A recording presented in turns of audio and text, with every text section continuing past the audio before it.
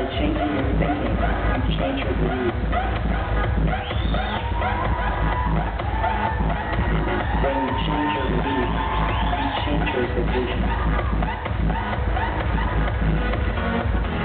When you change your expectation, you change your attitude.